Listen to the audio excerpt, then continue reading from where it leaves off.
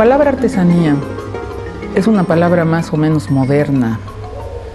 Fue acuñada o fue empezada a utilizar con el sentido que lo conocemos ahora pues, como a mediados del siglo XX. Es la artesanía se concibe según el convencionalismo social o como lo entendemos nosotros eh, como un objeto plástico que ha sido producido por un productor que llamamos artesano, que es una persona que conoce un oficio. Un oficio es una manera de hacer algo donde están involucradas ciertas técnicas de trabajo, las cuales a su vez requieren del desarrollo de habilidades, de destrezas, de conocimientos técnicos, que solo son útiles por quien lo sabe usar, aunque esto suene un poco extraño. Es decir, que el artesano es un maestro en su oficio, en el sentido de que es el único, en comparación con otros que no conocen el oficio, que puede utilizar coherentemente y eficientemente sus habilidades en combinación con las herramientas para producir un objeto.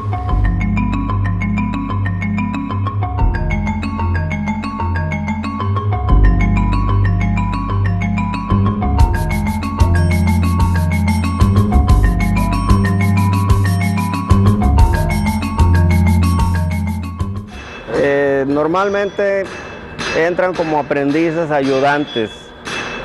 Si el ayudante se interesa por el oficio, pues se va adentrando y, va tratando de hacer lo que hace el maestro, el patrón. Bueno, si es que el patrón trabaja, porque hay muchos que nada más, actualmente nada más dirigen la empresa, pero no trabajan con las manos directamente. Conocer la ductilidad del material. Eh, y con la experiencia del forjado, del calentar el fierro y que se ablanda muchísimo como plastilina, y con un poco de ingenio y, de buena capacidad de diseño, pues se hacen cosas bonitas, nuevas. Tengo la satisfacción de no ser egoísta y el que venga yo le estoy dispuesto a enseñarle lo que quiera. En la palabra artesanía no solo denota el objeto resultante de este trabajo, de este proceso de trabajo que es eminentemente manual, aunque existan herramientas que colaboran al, fin, al fin, del trabajo, sino que esos conocimientos y esas habilidades tienen un contexto cultural muy claro, es decir, que el oficio se desarrolla en ciertas condiciones no solamente materiales, sino en condiciones de creencias o de conocimientos culturales determinados, dentro de prácticas culturales.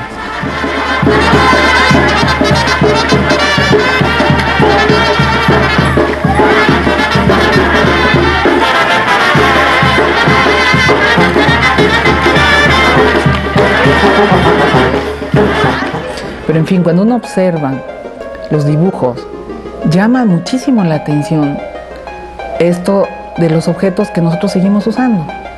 Petates. Las sillas como esta en la que estoy sentada ahora, los equipales, ¿no? No así, porque no había cuero en las épocas prehispánicas, pero los equipales a la manera que todavía los producen los huicholes, por ejemplo, ¿no?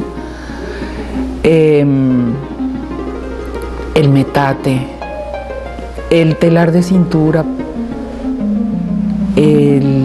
las flores de papel, en fin, una cantidad, las plumas, el trabajo en plumas, ese sí ya en franca desaparición. Sin embargo, otros objetos que realmente continuamos utilizando nosotros. Y eso significa que a pesar de los intensos ataques de todo tipo que sufrieron las sociedades indias de la prehispania, de los distintos ataques, como digo, económicos, ideológicos, este, eh, cívicos, de todo tipo, religiosos, importantemente religiosos, hay algo en, la, en el mestizaje, hay algo en el producto que somos los mexicanos actuales que, que ha permanecido parecido, es decir, que hay costumbres que se parecen y para lo cual hay objetos que se parecen para cumplir con necesidades semejantes en la vida diaria a pesar de 500, 600, 700, mil años transcurridos. Esa es una de las cosas más llamativas cuando uno rastrea la historia de los productos que hoy conocemos como artesanías.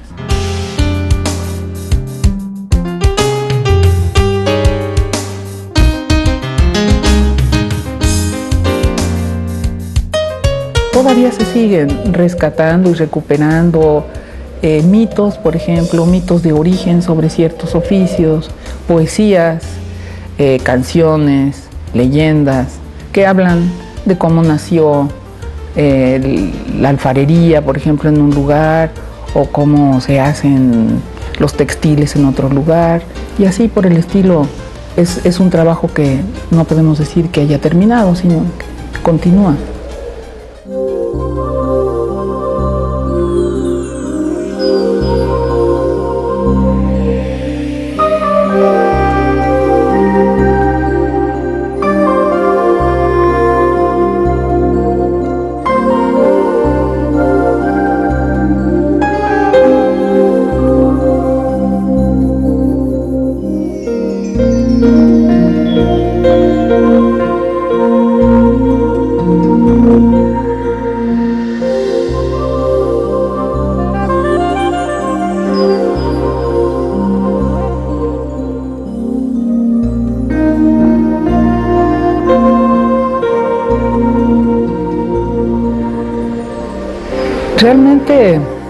Hecho de rastrear en la historia de México la producción manual de objetos plásticos que hoy conocemos con el nombre de artesanías es absolutamente fascinante como investigación.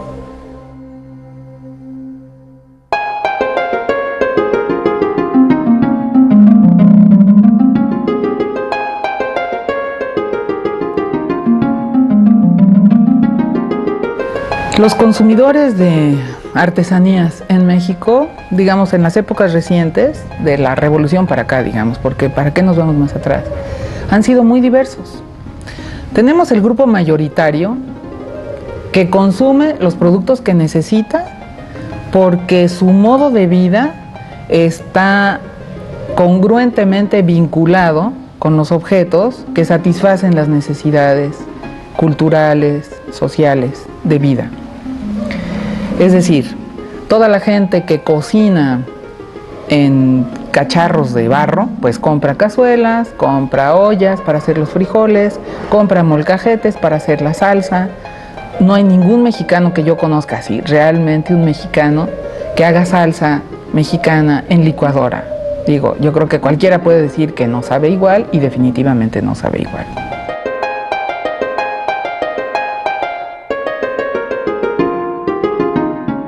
Hay entonces consumidores habituales de las cuestiones domésticas, pero que en ciertas épocas consumen objetos ceremoniales.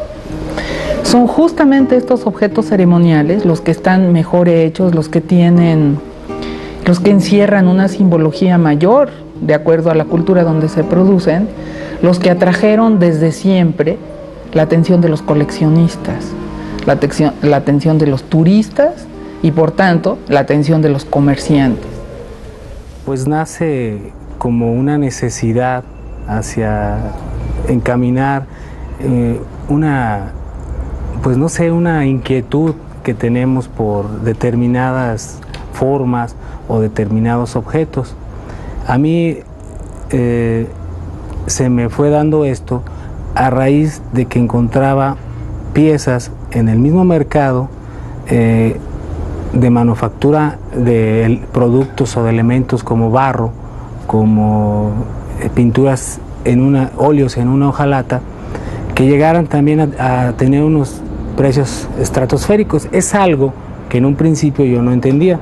Para poder llegar a una pieza de mayor aprecio, en mi punto de vista, pues a veces tengo que ver la necesidad ¿sí? de vender piezas para poder llegar a la que quiero. Y por ahí yo utilizo mucho una frase que dice que colección que no se mueve, colección que se muere. ¿Qué quiere decir esto? Que hay que estar renovando para mejorar la colección. Y te das cuenta que conforme va avanzando tu pasión o tu adicción hacia este, esta afición tan mundana de poseer algo, ¿sí? te das cuenta que no te ajusta el dinero y que también tienes otras necesidades. ¿Sí? Porque podrás no tener para comer, pero si te ofrecen una pieza muy buena a un buen precio, siempre consigues el dinero para comprarla.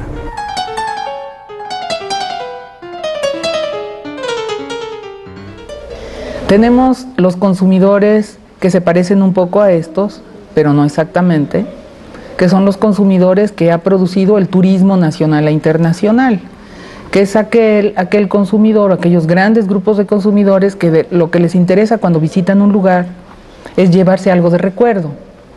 Y entonces aquí el comercio también ha entrado muy fundamentalmente para hacer que las producciones de los artesanos cambien y se orienten, por lo menos una parte de su producción, a producir objetos baratos, objetos este, curiositos, eh, sobre todo baratos, que no pesen, que no se rompan, etcétera, para que los turistas puedan comprar con toda tranquilidad y llevarse de recuerdo a sus, a sus países de regreso, ¿no?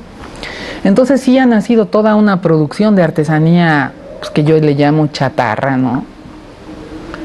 Que sirve para estos fines. Otros investigadores le llaman artesanía de aeropuerto. ¿Qué es eso que te llevas, no? De recuerdito y ahí lo cuelgas y son cositas así, todas monas, baratísimas. Y es otro tipo de consumidor. Ese consumidor generalmente no le importa este, mucho ni la calidad ni nada, sino él ve otro tipo de valores en, en los productos. Precio, peso, fragilidad, ¿no? Esas son las, las cosas que ven.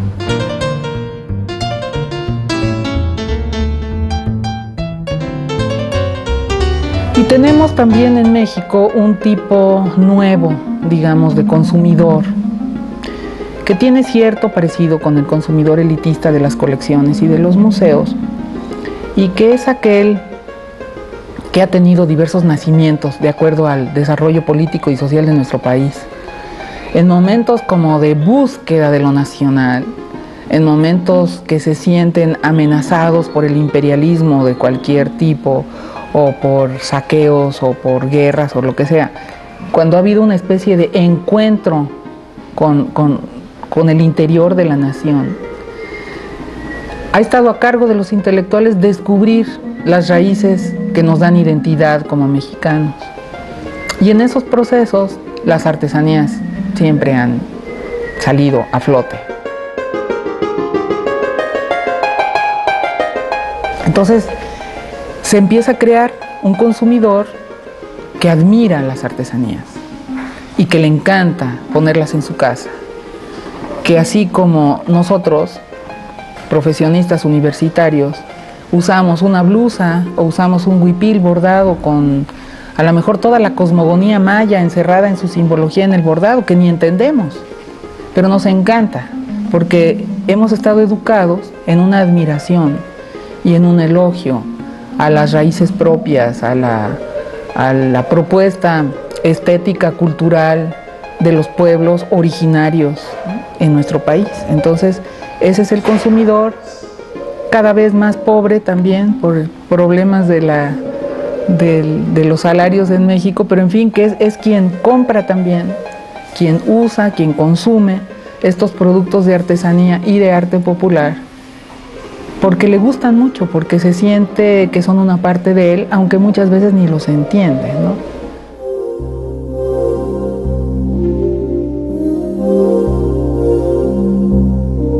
Y tenemos también toda una nueva artesanía que está realizada por creadores o productores totalmente de otro tipo. Es decir, así como toda la otra artesanía popular em, está basada en un intercambio de conocimientos que pasaron de padres a hijos, etcétera, ¿no? Más bien un conocimiento informal que aunque han venido muchos capacitándose en nuevas técnicas, el meollo, digamos, de su conocimiento procede de habilidades y destrezas de otros que los antecedieron, ¿no? Bueno, de hecho así es todo el desarrollo artesanal.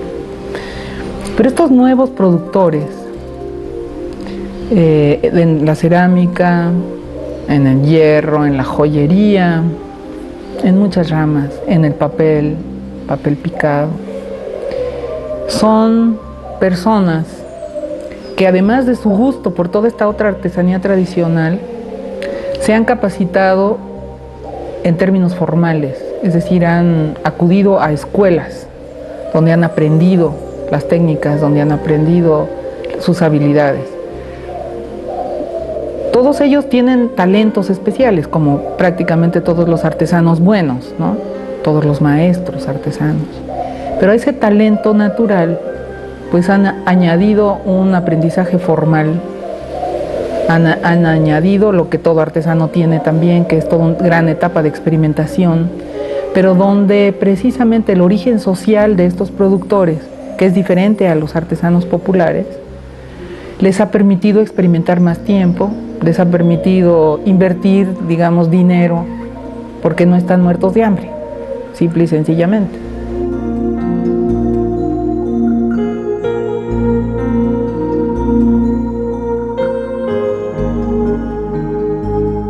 Eh, por otra parte, eh, se ve otro tipo de transformación que más bien tiende a la destrucción de esta producción, porque las costumbres cambian o porque la pobreza a la que está vinculada mucha parte de la producción artesanal en México, sobre todo la que se da en las zonas rurales, pues está haciendo que los trabajadores evalúen cuántos ingresos pueden obtener de un trabajo artesanal tan tardado, tan de calidad, etcétera, como muchos artesanos se quejan en este país, y viendo que si emigran al norte, aunque sea por épocas pequeñas, este, tienen un ingreso mucho mayor que los ayuda, digamos, a vivir con una mejor dignidad que lo que les está produciendo el ingreso de la artesanía. Es decir, que la evolución realmente del trabajo artesanal en México ha tomado caminos muy diversos, muy, muy diversos. En algunos casos para un desarrollo positivo y en otros casos para destruir lo, existente artesanal.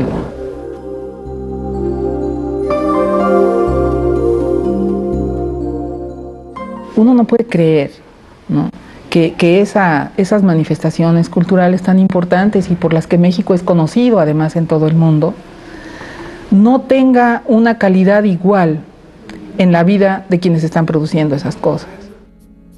No para vivir, no, pero sí para, pues, para otras cosas también da, porque yo trabajo en otro lado en la noche y también ya como estoy pensionado, me ayudo, porque si trabajo, como yo no tengo un local, no tengo un negocio donde poner mis cosas, pues el turismo que viene aquí no va a ser el que me compra. Pues teniendo yo quien me comprara, si esta me sobraba. Porque a veces sí ahí llevo cosas para afuera a vender, pero no es de todos los días, ni de cada semana, ni de cada mes. Y sí me va bien muchas que sí me va bien, pero que yo esté, que esté vendiendo aquí la gente de Europa constantemente esto, no. El taller que está ahí enfrente del parque, también una señora con su hija, es una señora con la hija de la señora que yo trabajaba, ella es maestra, y se dedica a, su oficio pues de maestra, y ahí no tiene más que una persona trabajando. Y luego ella que llega en la tarde y le ayuda y empiezan a trabajar ahí, como yo aquí. Y este, hay otras personas también que trabajan en su casa, son dos personas, tres.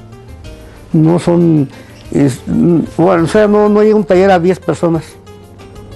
Ya, ahorita aquí. Mire, hay gente en Europa que no sabe ni qué cosa es esto.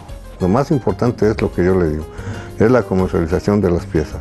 Donde tenga el artesano donde vender su producción, no le va a pedir nada al gobierno ni a nadie. a nadie, a nadie, si, él va a ganar, él, podrá hacer lo que sea, ¿verdad? como quiera que sea, los artesanos, igual que los albañiles, igual que los campesinos, igual que todo, son gentes y, se quieren divertir algún día, ¿verdad? Bueno, el único problema es que no, se venden las cosas, no hay mercado para vender esto.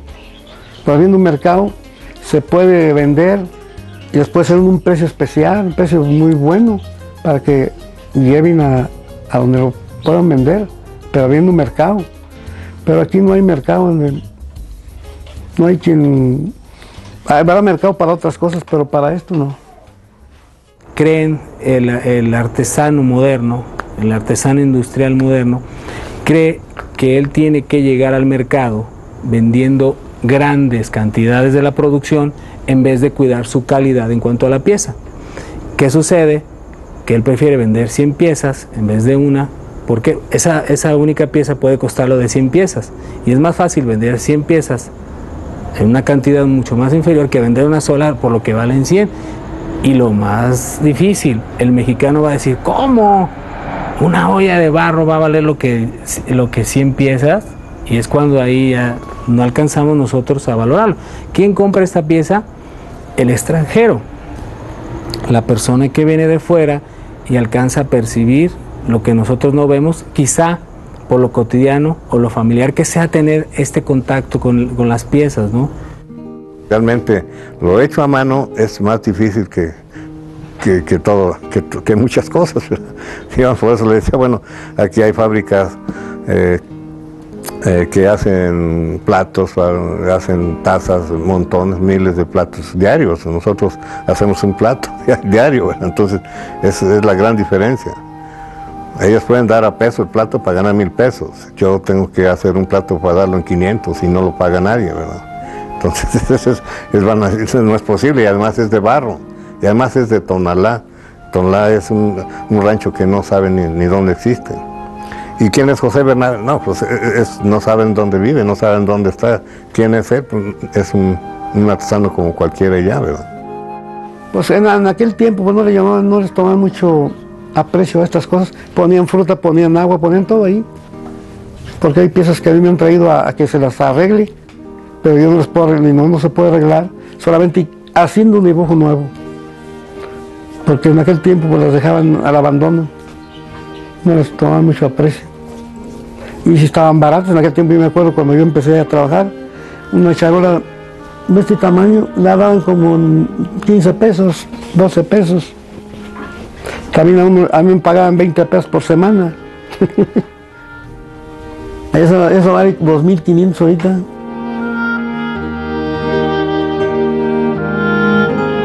Las instituciones mexicanas dedicadas al descubrimiento, fomento, estímulo, apoyo, etcétera, de la producción artesanal en México han tenido una vida azarosa y pues muy criticada también en muchos aspectos. Y sobre todo nacen siempre también en momentos de pues, ciertas coyunturas sociales y políticas donde es necesaria la, el descubrimiento o el aferramiento a manifestaciones culturales que nos puedan en un momento dado permitir una cohesión interna como nación. Es cuestión social, es cuestión este, educativa, es cuestión de apoyo. Y casi siempre cuando hay algún programa de apoyo los para los artesanos termina en los bolsillos de, personas que, que, ni tienen nada que ver con la sensibilidad hacia un arte, hacia un arte popular y mucho menos hacia, hacia la sensibilidad de un artesano o de un artista popular. Desgraciadamente Mm, los, gobiernos que entran y salen pues hacen cambios y, la gente a veces no entiende que debe de seguir conservándose la tradición de sus artesanos realmente y no los ha dado a reconocer mucho. ¿eh? Nosotros aparte de que somos reconocidos mundialmente, mucha gente todavía no cree que, nos, que, en un pueblo como Tonalá existan gentes capaces de, competir a nivel artístico con cualquier nación. Entonces, eh, desde López Mateos para acá nosotros tuvimos un auge más o menos ascendente, en donde pudimos, este, observando pues este, las ganas de, de seguir haciendo cosas bonitas.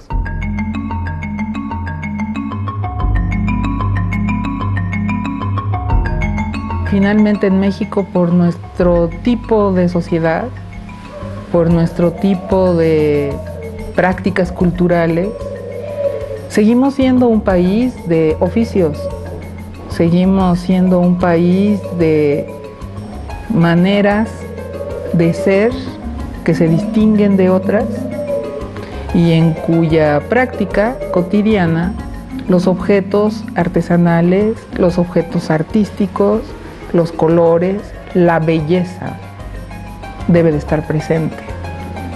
Y eso yo creo que es algo que pues nos ha permitido pues ser lo que somos a pesar de todos los enormes defectos, desastres, etcétera, que contiene nuestra sociedad, pero hay toda esa, otra parte, ese otro definitivo hecho cultural donde está incluida una propuesta estética de vida, que está presente en la pobreza también y en la no tan pobre sociedad otra, que convive con la sociedad mayoritaria.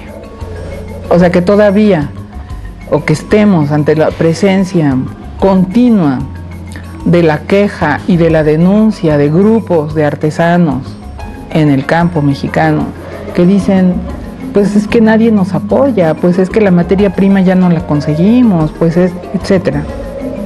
Y que dejan o prefieren dejar de hacer eso o prefieren que sus hijos no aprendan a hacer eso, porque los ingresos que, que obtienen a cambio son miserables, ¿no? Entonces, esa gran contradicción social, ¿cómo se va a resolver? No sé. Pero existe, es muy importante y es absolutamente injusta.